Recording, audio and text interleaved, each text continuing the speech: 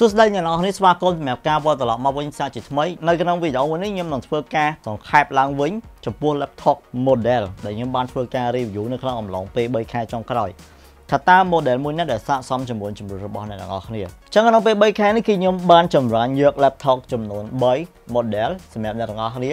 ដែលមានដូចជា MSI Steel 17 Studio MSI Steel 16 AMG Premium Laptop ក៏ដូចជា MSI Redder GE 78XX បាទនិយាយរងគឺ3 model ហ្នឹងតែសិតតែជា top ហើយ3 model ហ្នឹងគឺវាមានលក្ខណៈសម្បត្តិក៏ដូចជាមានរូបរាងខុសគ្នាផងដែរដែលជាជំរឿមួយសម្រាប់អ្នកទាំងអស់គ្នាដែលអ្នកនរអាចពិចារណាលើវាបានហើយខ្ញុំនឹងប្រាប់អ្នកនរថានៅក្នុង model នីមួយៗនៅក្នុងចំណោម3ហ្នឹងវាមានអត្ថប្រយោជន៍ដូចម្តេចខ្លះហើយវាគួរតែជាជំរឿរបស់អ្នកទាំងអស់គ្នាដូចម្តេចខ្លះ អញ្ចឹងនៅក្នុងចំណោម3 model នេះគឺខ្ញុំនឹងធ្វើការសង្ខេបដោយសារតែ laptop ទាំង3ហ្នឹងគឺវាមានគោលដៅរៀងៗខ្លួនសម្រាប់ធ្វើការទៅកាន់ user ផងដែរហើយអ្នកនរនេះអាចនឹងមើលទៅលើវាថាតើមួយណាដែលស័ក្តិសមដល់អ្នកនរគ្នា គ្រាន់តែថាខ្ញុំអាចប្រាប់ពី range នៃតម្លៃជូនអ្នកនរគ្នាសិន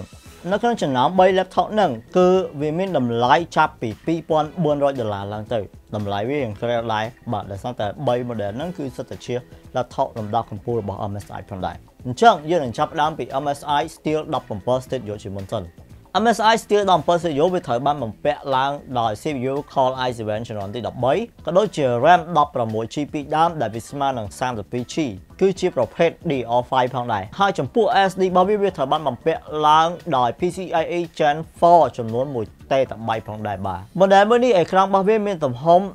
17.3 inch ដែលវាមានល្បឿន refresh rate រហូតដល់ទៅ 240 Hz អ្វីដែលសំខាន់ គឺ VGA របស់វាគឺត្រូវបានបំពាក់ឡើងដោយ RTX 40ដែលមានទំហំ 8G ផងដែរវា model មួយនេះគឺវាមានតែពណ៌ខប្លែកទេហើយពណ៌មួយនេះគឺជាពណ៌ដែលតាក់ទាញបំផុតសម្រាប់អ្នកទាំងអស់គ្នាដែលជាប្រភេទពណ៌ខ្មៅជាពិសេសអ្នកដែលគាត់ស្រឡាញ់ពណ៌ខ្មៅអញ្ចឹងសម្រាប់ model មួយនេះគឺតម្លៃរបស់វាលំបាក 2499ដុល្លារដែលបងប្អូនអាចធ្វើការស្វែងរកជាវតាមបណ្ដាហាងកុំព្យូទ័រផ្សេងៗដែលជាដៃគូសហការរបស់ MSI សម្រាប់សេចក្តីមកខ្ញុំអាចនិយាយថាសម្រាប់ MSI Steel 17 Studio នេះ model មួយនេះវាអត់ធំប្រហែលទេ spec របស់វាវាគួរសមដែរហើយសម្រាប់រូបរាងរបស់វាក៏វាមិនធំប្រហែលដែរយើងអាចងាយស្រួលនៅក្នុងការបំលាស់ទីក៏ដូចជាយកទៅតាមខ្លួនក៏ដូចជាពិសេស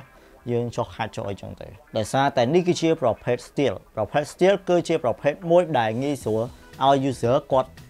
អាចយកវាបំលាស់ទីតាមខ្លួនបានគ្រប់ពេលវេលាគ្រប់ទីកន្លែងអញ្ចឹងទៅខ្ញុំអាចនិយាយថាសម្រាប់ធ្វើ laptop មួយនេះគឺស័ក្តិសមបំផុតសម្រាប់សិស្សសានុសិស្សក៏ដូចជាអឺបងប្អូនដែលកំពុងតែធ្វើការទៅលើស្ថាប័នណាមួយជាបុគ្គលិកអីចឹងទៅឬមួយក៏បងប្អូនអាសាដែលគាត់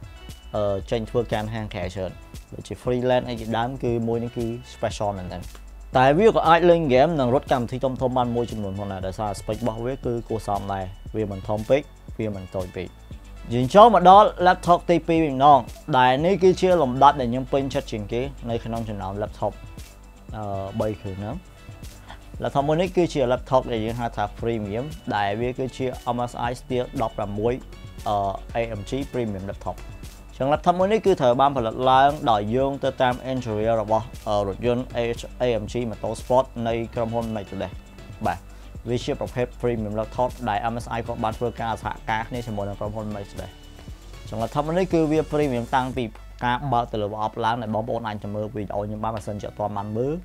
ហើយរបស់វាមួយគឺវា special មែនទែនហើយ laptop គឺត្រូវបាន design ឡើងដោយប្រណិតមែនទែននៅក្នុងរូបរាងរបស់វានីមួយៗដែលខ្ញុំអត់ចាំបាច់ detail ច្រើនទេ គាត់ថាបញ្ហាចម្បងជាមួយ laptop មួយនេះគឺរៀងអន់ចិត្តបន្តិចតាក់ទងជាមួយនឹងអេក្រង់ដោយសារតែអេក្រង់ laptop មួយនេះគឺត្រូវបានបំពាក់ឡើងជាប្រភេទអេក្រង់ OLED ដូច្នេះហើយវាមានល្បឿន refresh rate ត្រឹមតែ 60Hz តែប៉ុណ្ណោះបាទជារួមទៅគឺគេ focus ទៅលើអ្នកដែលគាត់ធ្វើការងារច្រើនជាងគេជាពិសេស businessman ដែលសារតែវាជាប្រភេទ premium អ្វីត្បិតតែ laptop នេះមាន refresh rate ល្បឿនតែ 60Hz ក៏ពិតមែនប៉ុន្តែ spec របស់វាគឺវាធំដោយសារតែ spec របស់វាគឺវាត្រូវបានបំពាក់ឡើងដោយ CPU Core i9 បាទ Core i9 មិនធម្មតា Core i9 ចំនួនទី13បាទហើយចំពោះ CPU វាគឺត្រូវបានបំពាក់ឡើងដោយ RTX 40ផងដែរដែលមានទំហំ 8GB ជាប្រភេទ GDDR6 ចំពោះ RAM របស់វាគឺត្រូវបានបំពាក់ឡើងដោយ DDR5 ដែលវាមានទំហំ 16GB ពីដើមបាទស្មើនឹង 32GB ហើយចំណែក HDD របស់វាគឺវាមានទំហំផ្ទុក SD រហូតដល់ទៅ 2TB ជាប្រភេទ PCIe Gen 4ផងដែរបាទអញ្ចឹងសម្រាប់តម្លៃអឺ របស់ MSI Steel 16 AMG របស់ក្រុមហ៊ុន Mercedes ជាមួយនឹង MSI នេះវាមានតម្លៃទាំងកញ្ចប់របស់វាជាមួយនឹង bundle នៃប្រអប់ហ្នឹងដោយសារតែនៅក្នុងប្រអប់ហ្នឹងគឺវាមានដូចជាម៉ៅដូចជាសភៅណែនាំ ដូចជាកាបូបក៏ដូចជារបស់ edition មួយចំនួនផងដែរដូចជា plus អីជាដើមមានច្រើន ನಾವು អាចទៅមើលវីដេអូ unbox ទៅដឹងហើយមួយកញ្ចប់ហ្នឹងគឺមានតម្លៃ2599ដុល្លារបាទតែថោកនេះគឺខ្ញុំស្រឡាញ់ជាងគេដោយសារតែវាទូចវាងាយស្រួលយកតាមខ្លួនតែកែនៃ laptop នេះគឺ businessman ជាពិសេសបងប្អូនដែលគាត់មានក្តីសម័យជាមួយរថយន្ត AMG ឬមួយក៏គាត់កំពុងតែធ្វើការប្រើប្រាស់ជាមួយប្រភេទរថយន្ត AMG របស់ក្រុមហ៊ុន Mercedes ណាមួយចឹងដែរជាដើម តែគ្រាន់តែថាគោលដៅ laptop នេះចំគឺជាប្រភេទ AMG Moto Sport បាទ model ចុងក្រោយគេគឺជា model ដែលនៅខាងឆ្វេងដៃខ្ញុំតែម្ដងដែលខ្ញុំទើបនឹងបាន review ថ្មីថ្មីដែល model មួយនេះគឺជា model ដែលខ្ញុំកំពុងតែប្រើប្រាស់ប្រចាំថ្ងៃផងដែរបាទចាំ model មួយនេះគឺ spec កប់ជាងគេ yeah ដែលយើងហៅថា MSI Raider GE 78XX បាទចាំ model នេះវារៀងធំបន្តិចហើយ រូបរាងរបស់វាក៏វាធំទម្ងន់របស់វាក៏វាធ្ងន់តិចដែរសារតែអឺវាមានកម្លាំងខ្លាំង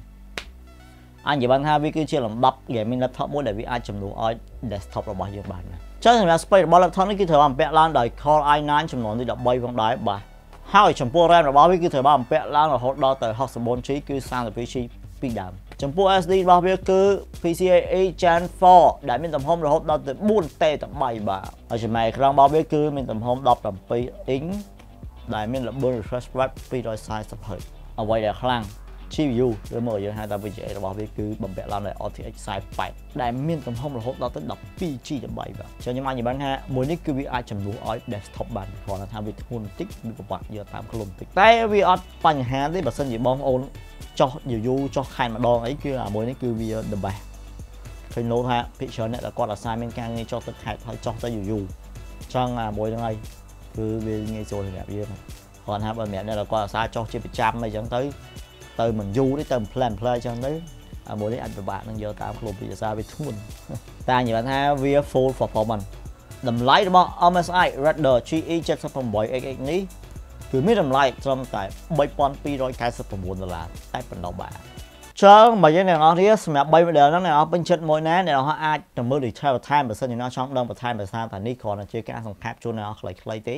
តែបើអ្នកបងប្អូនចង់ដឹងពីព័ត៌មានបន្ថែមអ្នកនរចុចដំណរ link ដែលខ្ញុំដាក់នៅខាងក្រោមវីដេអូហ្នឹងបាននៅដំណរនីមួយៗដែលខ្ញុំបានធ្វើពី model laptop នីមួយៗសម្រាប់អ្នកទាំងអស់គ្នាពីព្រោះនៅក្នុង model មួយមួយគឺខ្ញុំតែងតែមានវីដេអូ review ក៏ដូចជាវីដេអូដែលខ្ញុំបានតេស្តសារលបងថា performance វាមិនស្ពេចវាមិនរូបរាងវាមិនសម្រាប់អ្នកទាំងអស់គ្នាផងដែរ Anyway អត់មានច្រើនទេអរគុណមែនតើសម្រាប់ការតាមដានវីដេអូមួយនេះជានឹងជួបគ្នានៅវីដេអូក្រោយទៀត